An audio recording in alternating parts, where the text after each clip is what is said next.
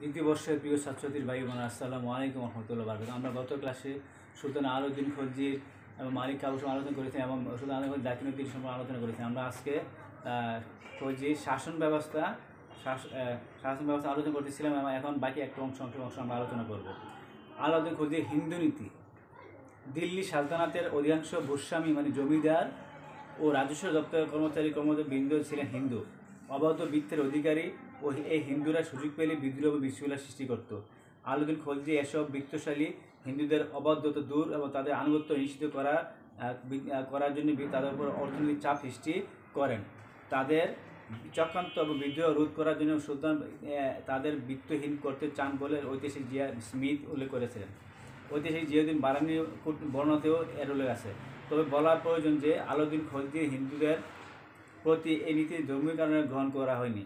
এই জন্য আন- আন- অনুগত ও আইন অমান্য আইন অমান্য, আইন মান্যকারী হিন্দুদের তিনি হয়রানি করেননি এবং বরং মুসলমানদের মতো সুযোগ সুবিধা দিয়েছিলেন বলে ঐতিহাসিক আল আগা মাহাদি হোসেন উল্লেখ করেছেন উল্লেখ করেছেন। সামরিক সংস্কার।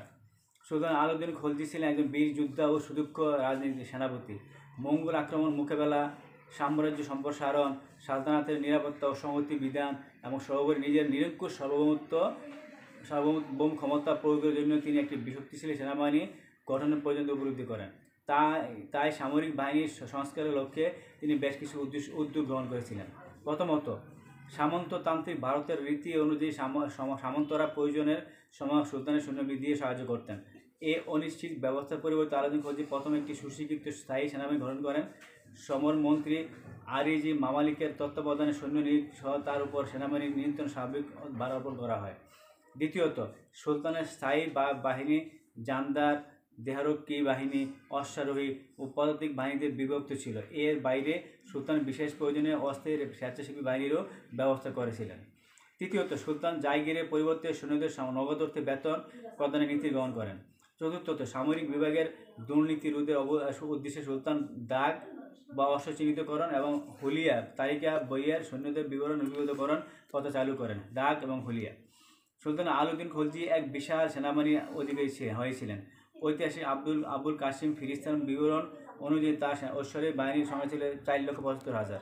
পদাতিক বাহিনীর সংখ্যা ছিল দ্বিগুণ ছিল বলে বর্ণনা করা হয়। তাছাড়া সুলতানের হস্তবাহিনী হস্তি বাহিনী ছিল প্রতি এক লক্ষ সৈন্যের সেনাপতি করতেন একজন খান পদবী সেনা কর্মকর্তা। অর্থনৈতিক সংস্কার। একজন দূরদৃষ্টিসম্পন্ন শাসক হিসাবে সুলতান আলাউদ্দিন খলজি সময় সামাজিক সম্প্রসারণ, নিরাপত্তা ও সংহতি বিধানের লক্ষ্যে অর্থনৈতিক সম্পত্তি নিশ্চিত করার প্রয়োজন বলে মনে করেছিলেন। কাজী সাম্রাজ্যের অধি অধি আর্থিক অবস্থার উন্নয়ন ও প্রজা সাধারণের জীবনমান উন্নয়নের উদ্দেশ্যে তিনি সংস্কার ধর্মী নিচের কিছু কর্মসূচি গ্রহণ করেছিলেন, যেমন রাজস্ব ব্যবস্থা। সামন্ততান্ত্রিক রাষ্ট্রের ভূমি ভূমি করে রাষ্ট্রের প্রধান আয়ের উৎস ছিল। তাই আলুদ্দিন খলজি ভূমি রাজস্ব নীতির ক্ষেত্রে বেশ কিছু ব্যবস্থা নেন। তিনি ভূমি ব্যবস্থাপনায় মধ্যসত্ত্বভোগীদের দূরত্ব নিয়ন্ত্রণ করেন। খোদ, মুকাদ্দাম ও চৌধুরী পদাধিকার, অধিকারীর ভূমি কর্মকর্তাদের বিশেষ সুযোগ বাতিল করা হয়। কৃষকদের কাছ থেকে সরাসরি রাজস্ব আদায়ের জন্য আমিন পদবী রাজস্ব কর্মকর্তা নিয়োগ করা হয়। ইকতার রাজস্ব হিসাব তদারকের জন্য কর্মকর্তা ওসি নিয়োগ করা হয়।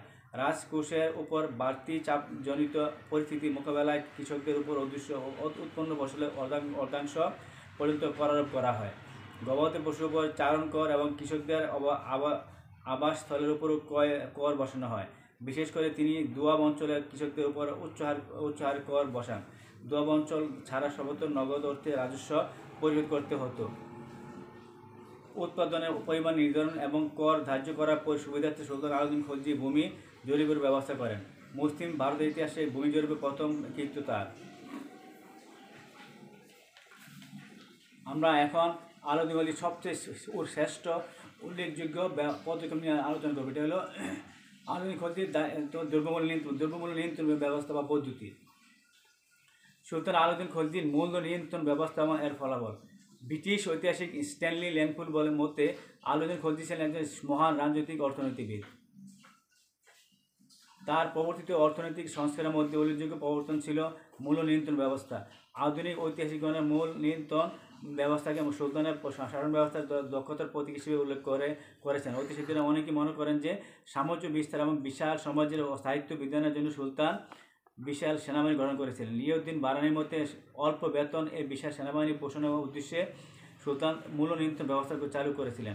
ঐতিহাসিক কে এস লাল এবং ল্যান্ডপুর মত সমর্থন করেন।